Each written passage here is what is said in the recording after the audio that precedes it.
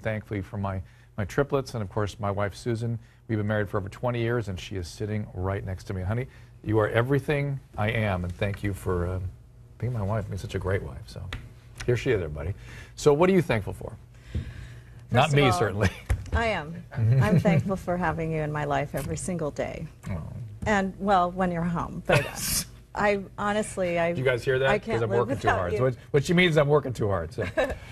And I'm thankful for the family that you've helped me be a The- part the of. kids. And you've, yes. It's been quite a journey. I'm- we have people don't know we have two boys and a girl. They're triplets, and uh, there they are as little kids right alongside of Susan there. And uh, it has been quite an intense journey that you and I have shared, hasn't Yes, it? it has. Yeah. But we're, we're very lucky, and things have turned out very well. And Yeah. I'm thankful for your fans. There they are, getting that older. Everybody's so nice to us when we see them on the street, and you know, I I'm just really proud of you, and I Oh. think that.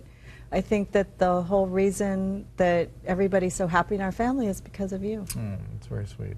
Kids are away now at college, and uh, they've all over the country, and they came back. Two of them. Well, our daughter's coming back.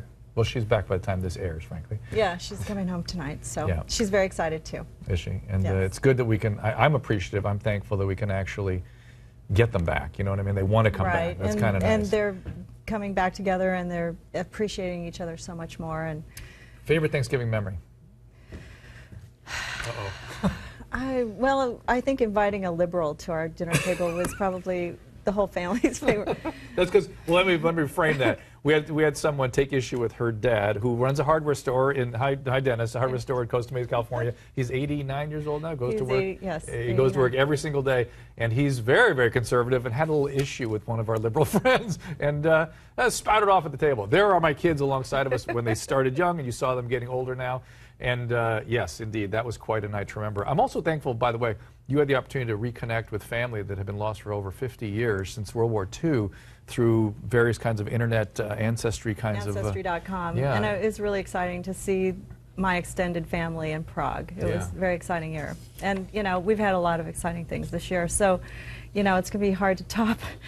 Well, no, I think it's going to be up to our kids to top it. I mean, they're the ones that have to carry on. And we've had a lot of discussion about parenting tonight, and um, I just feel so grateful that our kids have turned out the way they have and, They have, and are they're happy in the schools where they are. And, and again, Thank, I'm very thankful for the schools that admitted them Yeah, into. yes, that was they- a tough process, and we really appreciate it. We can't tell you how happy they are. yes, and uh, but again, I'm great, most grateful for you, and thank you for Thank being who you are. So. You. All right, guys. I'm also thankful to our viewers, and uh, thank you for being part of this this experience that we have here. Happy Thanksgiving, everybody, and uh, we'll see you on the other side of the holiday. Stay well.